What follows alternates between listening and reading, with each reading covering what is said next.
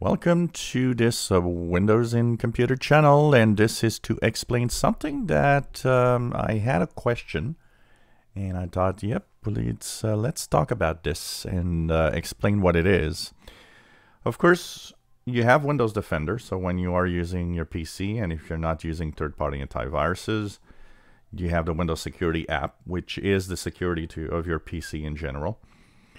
But there's something that a lot of you are saying is that part of this Windows Security app? What what is it?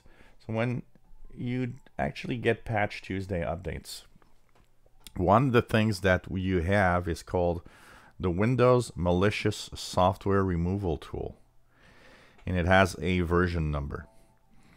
So a lot of people have been asking what is this exactly and what does it do?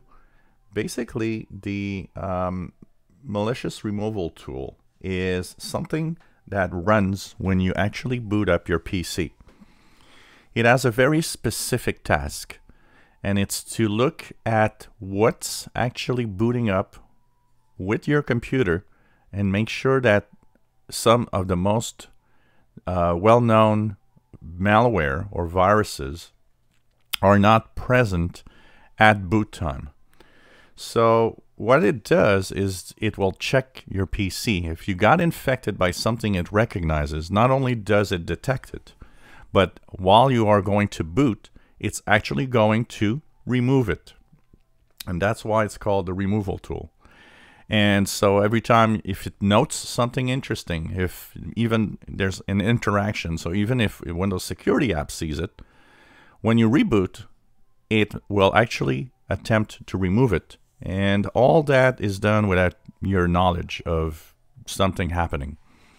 So every month it's updated with the latest def definitions of what it could detect and all the new stuff that was discovered during the month. Or the same malware, but that was actually updated or a new version of it was uh, available. And that, of course, means that it needs a new tool to detect it again.